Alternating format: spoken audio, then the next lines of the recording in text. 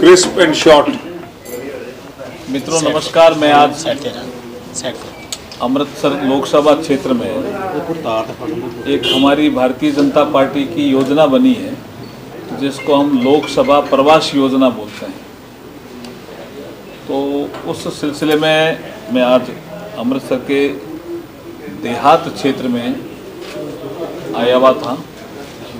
कुछ मीटिंगें हमारी अलग अलग क्षेत्रों में हुई है। पार्टी कार्यालय में भी मीटिंग हुई है अमृतसर में। और इसके आधार पर मैं ये कह सकता हूँ कि लोकसभा क्षेत्र अमृतसर में वातावरण भारतीय जनता पार्टी के पक्ष में बनता जा रहा है लगातार। हमारा धरातल भी मज़बूत हो रहा है। प्रधानमंत्री नरेंद्र मोदी जी की जो नीतियाँ हैं उसका प्रभाव धरातल में हमें देखने को मिल रहा है। पब्लिक भी जुड़ रही है। देखिए, दो हमारे पिलर हैं जिसको प्रधानमंत्री मोदी जी हमेशा कहते हैं। एक है डेवलपमेंट और दूसरा है गुड गवर्नेंस हमारे शासन के ये दो ही आधार हैं। और इन दो आधारों के आधार पर जब हम कोई एजेंडा लेकर के जाते हैं, किसी भी प्रदेश में तो हमें उसका समर्थन मिलता है। अभी आपने देखा होगा कि नॉर्थ ईस्ट में तीन राज्यों में चुनाव हुए। कुछ लोगों ने कहा, वहाँ क्रिश्चियनिटी है। लेकिन हम तीनों में सरकार बनाने में सफल हुए अभी तुरंत आगे आने वाले समय में कर्नाटका में चुनाव है। वहाँ भी हम सरकार बनाने में सफल होंगे। 2023 में हम चल रहे हैं। राजस्थान, मध्य प्रदेश, छत्तीसगढ़ और तेलंगाना। इन राज्यों में भी चुनाव होंगे, बड़े राज्यों में। मिजोरम भी उसके साथ है। और फिर तुरंत बाद 2024 आएगा। उसमें हमारे पंजाब में तेरह सीटें हैं। लगातार हमारा जनाधार भी बढ़ रहा है, मोदी जी की नीतियों का आधार भी मज़बूत हो रहा है, इसके आधार पर हम कह सकते हैं कि लोकसभा चुनाव में पंजाब से भारतीय जनता पार्टी का बहुत ही अच्छा प्रदर्शन रहने वाला है। बाकी विषय आपके लिए मैं छोड़ता हूँ कि आप जो पूछेंगे, उसका जवाब देने की मैं कोशिश करूँगा। मैंने आपको बताने की कोशिश की, हमारा लोकसभा प्रवास योजना उसके तहत मैं यहाँ आज अमृतसर के देहात क्षेत्र में आया हुआ मंत्री जी क्यों लगता है आपको कि 2024 में बीजेपी का बहुत बढ़िया आधार होगा पंजाब में? क्योंकि बीजेपी ने अभी तक ऐसा तो कुछ किया नहीं कि जिस वजह से लगता हो कि पंजाब के लोगों की बड़ी समस्याएँ हल हो गई या कुछ ऐसा हो गया कि जिस वजह से 2024 ये जो सरकार आई है ना आम आदमी पार्टी की ये गवर्नेंस नहीं दे पा रही है और डेवलपमेंट भी रुका हुआ है। तो जनता को ऐसा लगता है कि 2024 में नरेंद्र मोदी जी का ग्राफ लगातार बढ़ रहा है। तो अगर मेंबर ऑफ़ पार्लियामेंट बीजेपी से होगा तो पंजाब का विकास बढ़ेगा, पंजाब में विकास भी तेज़ी से होगा। और जो विकास की रफ्तार है, पंजाब की वो रुकनी नहीं चाहिए, ऐसा पंजाब के नागरिक सोचने लग। इसलिए मुझे लगता है। अभी तो एक साल हुआ है बाद इलेक्शन हुई को विधानसभा भी बड़ी हार मिली आपको, जो भारतीय जनता पार्टी को के लिए जबकि आपको क्या लगता है कि आप 24 भी आ गए लोग वो वोट डाल देंगे आपको? देखिए एंटी इनकम्बेंसी तेज़ी से बढ़ी है पंजाब में। हम नहीं कह रहे हैं कि हमें जो ट्रेन में कोई मिलता है, कोई हमें एयरपोर्ट पे मिलता है, हवाई जहाज़ में यात्रा करते समय जब हम बात करते हैं तो एंटी इनकम्बेंसी तेज़ी से बढ़ी है। गवर्नेंस नाम की चीज़ नहीं है लॉ एंड ऑर्डर बिगड़ गया। तो पंजाब के नागरिक समझते हैं कि भाई हमने ये शासन ठीक नहीं बनाया। ऐसा महसूस होता उनको। इसलिए हम कह रहे हैं। राहुल गांधी ने डेफर्मेशन कर दी है राहुल गांधी जी के केस में देखिए मैं मैं मैं ये बताना चाहता हूँ आपकी जानकारी के लिए। मैं संसदीय कार्य का अ, मंत्री भी हूँ। पब्लिक रिप्रेजेंटेशन एक्ट हमने नहीं बनाया। जवाहरलाल नेहरू जी के समय बना 1951 में उसमें एक सेक्शन एट है उसका पार्ट थ्री है 2013 में हम शासन में नहीं थे उस समय एक अमेंडमेंट आया और उस समय सुप्रीम कोर्ट ने भी उसको अपहोल्ड किया कि अगर दो साल दो साल से ज़्यादा किसी को सजा होगी एमपी और एमएलए तो जिस दिन से सजा होगी उस दिन से उसकी सदस्यता चली जाएगी ये हमारा तो एक्ट था नहीं अब एक और आईपीसी में प्रावधान है। Section four double nine IPC और फाइव हंड्रेड कि आपको बोलने की आज़ादी है इस देश में संविधान के तहत। लेकिन किसी भी समाज को गाली देने की आज़ादी नहीं है। ये प्रावधान है। सेक्शन फोर डबल नाइन अब उन्होंने कोलार में 2019 में 2019 में, जानबूझ के गाली दी एक मोदी समाज सरनेम रखने वाले लोगों के लिए। तो कोई हर्ट हुआ? कोर्ट में गया। कोर्ट ने सजा सुनाई। सजा सुनाते समय जज साहब ने तीन चार बार इनको पूछा कि क्या राहुल गांधी जी आप माफ़ी मांग रहे हो क्या? उन्होंने माफ़ी नहीं मांगी। तो उसमें जो सजा का प्रावधान था, उसके आधार पर सजा हुई। दो साल दो साल से अधिक सजा होने पर ऑटोमेटिक वो सदस्य नहीं रहता है। तो हमारे लोकसभा सचिवालय में माननीय अध्यक्ष महोदय ने एक आदेश जारी किया। उसके बाद उसी में ये प्रावधान है कि कोई सदस्य नहीं रहेगा तो उसको घर के बारे में भी एक नोटिस जारी होता है। अगर राहुल गांधी जी ऐसा समझते हैं कि मेरे लिए अलग कानून हो और कोई साधारण एमपी हो, उसके लिए अलग कानून हो, ऐसा तो देश में होगा नहीं। कानून तो सबके लिए एक जैसा ही होगा। उसमें कहा जाता है कि भाई आप संसद सदस्य नहीं रहे तो आप मकान खाली करें।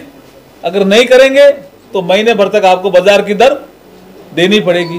बाज़ार की दर वो नहीं देंगे, तब इविक्शन आएगा, लेकिन नोटिस में ही लोग कह रहे हैं, खाली करा रहे हैं, खाली करा रहे हैं। हम कह रहे हैं, भाई संसद सदस्य नहीं हो, इसलिए आपको हम चेता रहे हैं कि एक महीने के बाद आपको बाज़ार की दर देनी पड़ेगी। अब ये कानून बने हुए हैं, हमने तो नहीं बनाए ना। रूल्स पहले से ही बने हुए हैं। वो राहुल गांधी पे भी लागू हुए। पर कांग्रेस कह रही संविधान को खतरा है जिस तरह किस कुछ चीज़ का खतरा जी? मानहानि का प्रावधान आईपीसी में हमने किया बीजेपी ने किया। वो कह रहे हैं कि बोलने नहीं दिया जाता है। संविधान के खतरे के बारे में वो कहें बोलने नहीं दिया जाता है। कोलार की सभा में कौन बोला जी? हम बोले क्या? राहुल गांधी बोले ना। मैं कह रहा हूँ बोलने की आज़ादी है संविधान के तहत। लेकिन गाली देने की आज़ादी नहीं है ये उनको समझना पड़ेगा। दूसरा उनको लगता है कि हम तो कुछ भी बोल सकते हैं। हम तो स्पेशल क्लास हैं। हमारे पे कानून लागू नहीं होंगे हमारे रूल ऑफ़ लॉ अलग होंगे। ऐसा नहीं है जी देश में। अगर कोई बोलेगा गाली देगा किसी समाज को कोई हर्ट होगा तो कोई जाएगा कोर्ट में तो कोर्ट सजा सुना भी सकता है। आपको अपील करने का अधिकार है अपील करिए। बीजेपी को गाली क्यों दे रहे हो? और इसमें कोई सरकार सजा देती है क्या? सरकार नहीं देती कोर्ट का मामला है। इसका मतलब कोर्ट को भी आप नहीं मानोगे आप कोर्ट से भी पुरो ऐसा राहुल गांधी जी होके हम यहाँ पे आ गए हैं पंजाब में आ गए हैं।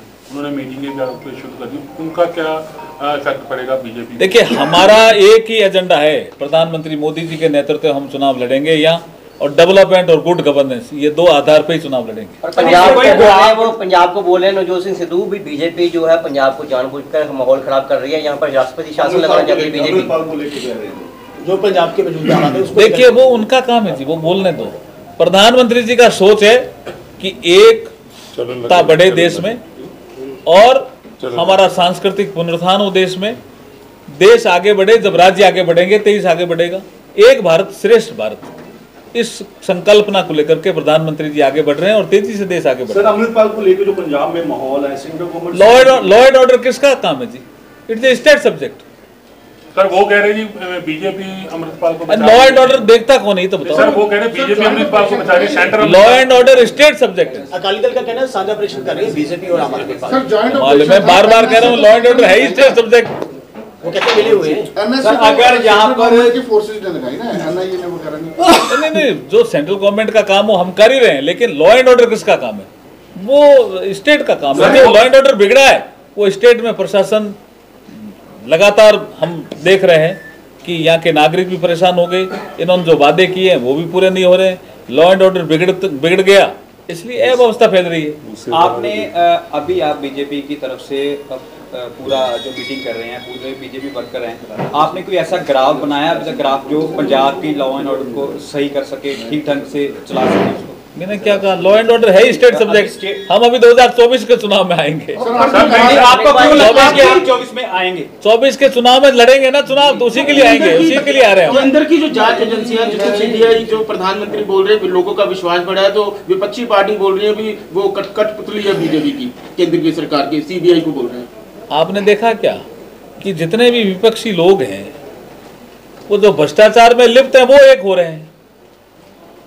आपको अमित शाह जी का शायद किसी में था विषय कि जितने केसेस हुए हैं उसमें पाँच परसेंट ही पॉलिटिशियन नहीं है। और ऐसा नहीं है बीजेपी के पॉलिटिक्स में पॉलिटिशियन भी नहीं है, है उसमें। देखिए भ्रष्टाचारी को हम नहीं छोड़ेंगे चाहे कोई भी हो किसी दल को उसके लिए कोई अलग कानून नहीं होगा। पर कहा कहा मोदी जी के शासन में चाहे कोई कितना ही बड़ा आदमी क्यों नहीं हो अगर भ्रष्टाचार करेगा तो जाँच एजेंसी अपना काम करेगी। जी, आपने कहा कि पंजाब का लॉ एंड ऑर्डर ठीक नहीं है स्थिति बिगड़ गई है। तो क्या आपको लगता है कि ये राष्ट्रपति शासन की तरफ़ जा रहा है इशारा? देखिए लॉ एंड ऑर्डर बिगड़ गए तो हम कह ही रहे हैं ना। हाँ। लॉ एंड ऑर्डर बिगड़ गया लॉ एंड ऑर्डर बिगड़ गया तभी यह व्यवस्था फैल रही है। ये तो हम कह ही रहे हैं। अकाली दल से गठबंधन हो सकता है भाजपा का। हम बीजेपी हमारे बूते पे हम चुनाव लड़ेंगे 24 में और फिर मैंने कहा डेवलपमेंट और गुड गवर्नेंस वही हमारे है। तो है है गाँव में विलेज में गाँव में तो बैठे हैं, भी आज तो गाँव में गए हैं बैठे यहाँ पर लगातार मीटिंग कर रहे हैं। आज तो अजनाला में था। बनाने के लिए भाजपा आज तो अजनाला में था। देखिए कितनी शानदार मीटिंग हुई है। आज मजीठा में था। सर मेन मेन सवाल है कि राष्ट्रपति शासन की ओर जा रहा है पंजाब। क्या सवाल देखिए ये ये ये राज्यपाल और राष्ट्रपति जी का काम है। जी मेरा काम नहीं है। मेरा काम है कि लॉ एंड ऑर्डर बिगड़ गया इसलिए अव्यवस्था फैल गई। कानून व्यवस्था जब बिगड़ता बिगड़ता है तो अव्यवस्था फैलती है तो डेवलपमेंट गायब होता है गवर्नेंस भी गायब होता है। हम हमारे नागरिकों को हम हमारे वर्कर को ये समझा रहे हैं कि इस बात को तो प्रधानमंत्री मोदी जी ने अच्छा काम किया है। अब जैसे जिस रोड पे आए अब ये रोड डेवलपमेंट हुआ तभी तो ये रोड इतनी अच्छी बनी ना ਸਰ ਆਪ ਇਹਦਾ ਜਵਾਬ ਤਾਂ ਪੰਜਾਬ ਦੇ ਮੁੱਖ ਮੰਤਰੀ ਦੇ ਸਕਦੇ ਨੇ ਵੀ ਲਾਅ ਐਂਡ ਆਰਡਰ ਤੇ सर आप कॉन्फिडेंस पूरा रखते हैं लेकिन ओवर कॉन्फिडेंस वो सही है आपके लिए क्योंकि जब आप अकालियों के साथ थे तो जेतली जी जैसे दिग्गज भी हार गए यहाँ से तो अब तो अकाली भी आपके साथ नहीं है तो कैसे चलेगा ये काम देखिए परिस्थितियां देश काल और परिस्थितियां अलग अलग होती है अब जिस तरह से आप पंजाब आगे बढ़ा है ना और जिस तरह की परिस्थितियाँ बन रही है पंजाब के नागरिक पंजाब के लोग चाहते हैं कि डेवलपमेंट होना ही होना चाहिए गवर्नेंस होनी होनी चाहिए। इस दृष्टि से हम कह रहे हैं सर वो तो कि हम शुरू से 24 में हैं, जीतेंगे ऐसे हम है, 24 में स्टेट चाहती है जीतेंगे इसलिए इसलिए हम 24 में जीतेंगे। जलंधर चिमनी चुन को लेके क्या स्टैंड रहेगा भाजपा का? जलंधर में जलंधर। जलंधर में देखिए कि हमारा एक सिस्टम बना हुआ है। हम ज़िले से रिपोर्ट लेंगे फिर प्रदेश से हम समीक्षा करेंगे। फिर हमारी एक चुनाव समिति है उसमें बैठेंगे। फिर हमारा संसदीय बोर्ड है वो निर्णय करेगा और जलंधर में भी हमारी स्थिति बहुत अच्छी है। चर्चा चल रही है कि आम आदमी पार्टी को कैंडिडेट नहीं मिल रहा है जलंधर से? नहीं मैं उन पार्टी की बात नहीं कर रहा हूँ हम तो बीजेपी की बात करेंगे। है? हम तो बीजेपी की बात करेंगे बीजेपी के पास अच्छे कैंडिडेट है और आपको अच्छा कैंडिडेट देंगे। बहुत बहुत धन्यवाद भाई साहब बहुत बहुत धन्यवाद।